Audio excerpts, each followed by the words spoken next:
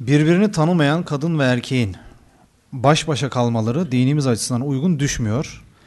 Fakat günlük hayatta çeşitli nedenlerle bu olabiliyor. Mesela ben özel ders alıyorum. Hocam erkek, çalıştığı yerde ders veriyor. Bunun açıklamasını rica ediyorum.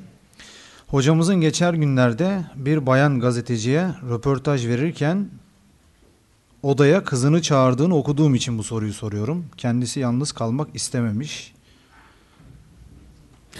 E tabii şimdi pazar günüydü. Bayan gazeteci geldi. Ben önce kızımı çağırmadım. Ben zannettim vakıfta bir takım insanlar var. İçeri girdim baktım kimse yok. Pazar gitmiş arkadaşlar. O zaman hemen kızımı çağırdım. Ya yapmamız gereken o. Çünkü baş başa kalmayı Peygamber sallallahu aleyhi ve sellem yasaklıyor. Yani o mutlaka şeytan devreye girer. Yani sen kendinden emin olamaz. Zaten hiç kimse kendinden emin olmamalı da bu konularda.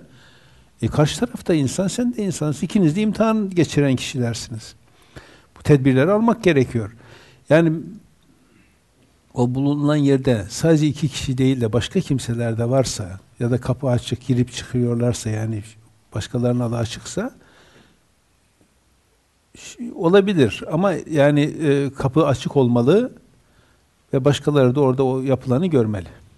Ya da her an görebilmeli.